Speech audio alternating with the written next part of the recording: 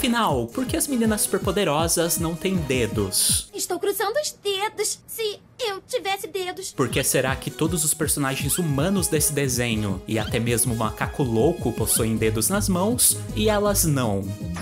Bom, antes de tudo, é importante a gente falar que os designs da Lindinha, Florzinha e Docinho foram totalmente planejados em cima do contraste entre a inocência, afinal elas são garotinhas fofinhas, com a agressividade, já que elas descem a porrada nos vilões. Não é à toa que elas são completamente desenhadas apenas com duas formas geométricas: as ovais, que são as formas que representam a bondade, inocência e felicidade, e os triângulos, que passam a sensação de perigo e agressividade. Notem que quanto mais agressiva é a menina, mais formas triangulares ela traz em seu design. Já os braços e as pernas, que são as partes do corpo que elas usam para espancar os vilões, tiveram como inspiração meias cheias de areia molhada, que, segundo o criador da série, são excelentes armas para bater nos outros. Afinal, por que as meninas superpoderosas sempre resolvem tudo na porrada? O palhaço tá triste? Bate nele até ficar feliz. A gangue gangrena passou trote? Soco neles. Uma rica quer ter superpoderes? Então desce o cacete.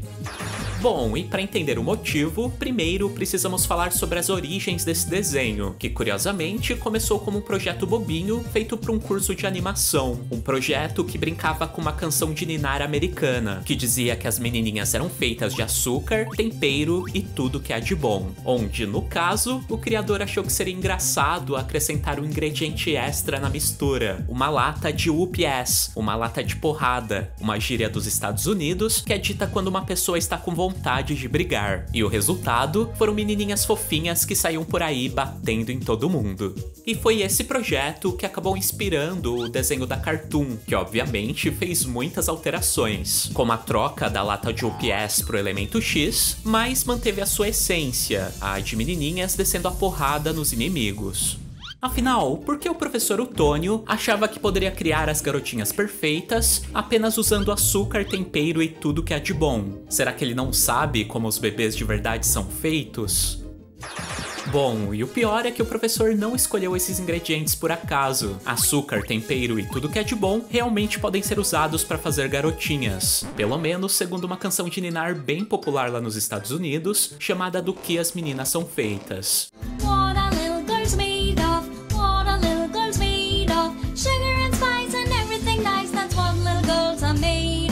Já os meninos, segundo essa mesma canção de Ninar, são feitos de coisas nojentas, caracóis e rabo de cachorro.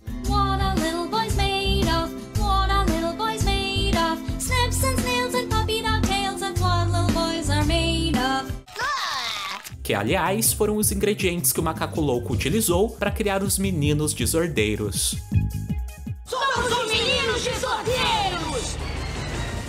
Você já tinha reparado que as meninas superpoderosas, na verdade, estão presas num paradoxo temporal? Pois é, elas foram responsáveis pelas suas próprias criações. Olha só que louco. Bom, como a abertura do desenho já deixa claro, a Florzinha, a Lindinha e a Docinho foram criadas pelo professor Otônio quando ele estava tentando criar as garotinhas perfeitas. E o porquê dele querer fazer tanto garotinhas foi explicado pra gente num episódio chamado Volta Macaco Louco, onde esse vilão volta no tempo para tentar matar a versão criança do professor Otônio. Mas só que daí as superpoderosas vão atrás, derrotam o inimigo e acabam salvando o pequeno professor. E é nesse salvamento que surge a inspiração do Otônio para criá-las. Ao enxergá-las contra a luz, ele fica fascinado com a visão daquelas garotinhas estranhas, e a partir de então passa a estudar com a finalidade de virar um cientista e arranjar um jeito de recriá-las. Ou seja, se as superpoderosas não tivessem voltado no tempo, o professor nunca as teria visto e, consequentemente, não as teria criado. Um paradoxo temporal. E as meninas superpoderosas, que na verdade estão presas na cidade de Townsville e sendo obrigadas a lutar pro resto das suas vidas. Olha que louca essa teoria teoria.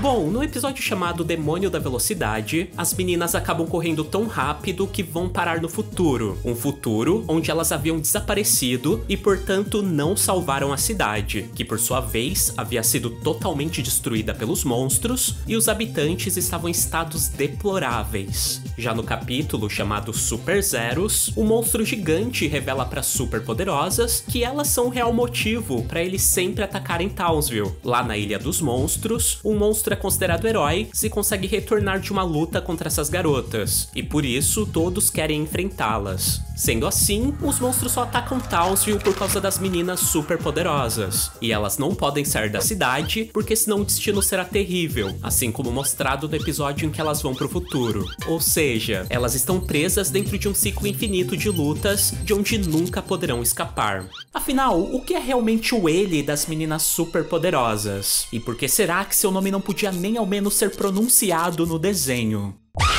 Bom, descrito como um vilão extremamente cruel, sinistro e desprezível, o ele, que o narrador do desenho fazia questão de dizer que não era o seu verdadeiro nome, mas sim uma forma de nomeá-lo sem assustar as pessoas, era definitivamente o inimigo com o maior número de habilidades dessa série. Ele podia aumentar e diminuir seu tamanho, se transformar em animais e objetos, controlar a mente das pessoas, movimentar coisas com o poder da mente, possuir brinquedos e até mesmo ressuscitar mortos, como ele fez com os meninos desordeiros. E tendo em vista esses poderes, o único tipo de criatura que poderia fazer isso não poderia ser outro. Se você pensou no Tinhoso, no Maligno ou qualquer outro apelido para se referir ao diabo, você acertou. Aliás, nos protótipos iniciais da série, aonde esse personagem ainda tinha essa aparência, ele era realmente nomeado como Diabo.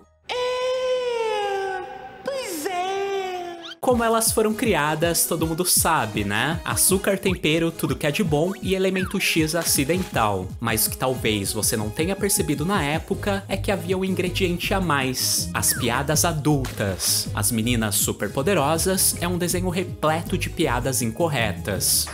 Um exemplo está na escola Carvalhinho, um ambiente pré-escolar fofinho, pelo menos até você olhar para a parede, pois em meio aos desenhos bonitinhos dos alunos está o de uma criança que desenhou seu pai alcoólatra. Já outro momento incorreto acontece quando a Lindinha fala para sua nova amiga que o professor havia criado por acidente no laboratório, e aí ela responde: Não se preocupe, professor, eu também fui um acidente. Agora reparem na cena em que a sedusa se disfarça de senhorita Bellum para tentar seduzir o prefeito.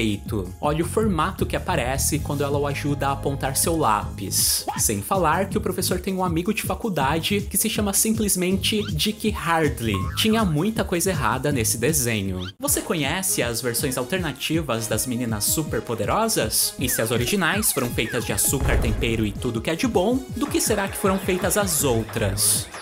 E vamos começar com as meninas pré-históricas as primeiras da história, e que apesar de não termos informações sobre a criação, nós sabemos que podiam saltar grandes altitudes e usar ossos de dinossauros para bater. Daí no Velho Oeste nós temos as meninas super vaporosas. As meninas super vaporosas! Cujos ingredientes foram sassafrás, arsênico e tudo de antigo, com carvão derrubado acidentalmente, mas essas não tinham superpoderes, e por isso, para voar, elas usavam máquinas movidas a vapor. Já na época contemporânea, existiram as meninas superpoderosas ao extremo. As meninas superpoderosas ao extremo estão aqui!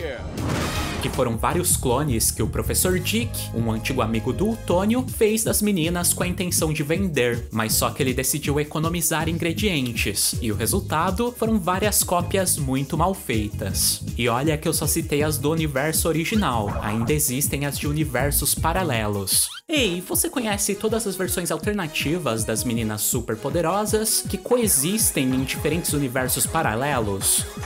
Começando com a versão de um universo onde as meninas são malignas, as meninas Power Punk da cidade de Villastown, que foram criadas com sal, vinagre, tudo de ruim e elemento X acidental por um Utônio malvado que queria destruir a cidade. Daí também temos as versões do anime Geração Z, que sim, se passava no universo paralelo ao desenho original, já que em um capítulo de viagem tempo espacial, as duas realidades se conectam e aonde tivemos primeiramente as meninas muito bondosas. Não tem nada melhor do que meninas muito bondosas? Que inicialmente eram garotas comuns do Japão feudal e que acabaram ganhando superpoderes graças ao elemento X, criado por um ancestral do Utônio, e as meninas superpoderosas Z, já de uma Townsville futurista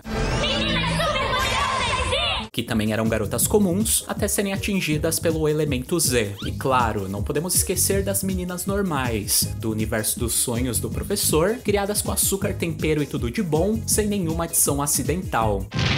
As meninas normais. E que eram realmente comuns, sem nenhum tipo de poder. Ei, você conhece essas personagens aqui? As contrapartes malignas das meninas superpoderosas que vivem no universo paralelo, onde o professor Otônio quer destruir a cidade e o macaco louco é o herói que tenta detê-lo?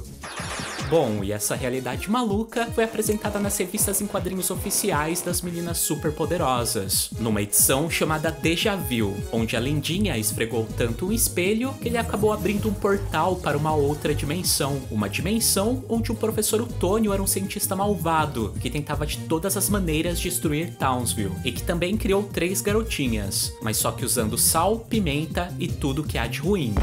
E as suas criações se chamavam Berserk, a contraparte do mal da Florzinha, a Brat, a contraparte da Lindinha, e a Brute, a versão maligna da Docinho, e que juntas formavam um trio conhecido como as Meninas Power Punk. E quem sempre agia para impedir que elas destruíssem tudo, por incrível que pareça, eram o Macaco Louco, o Fuzzy Confusão e o trio Ameba, que nesse universo eram cientistas do bem.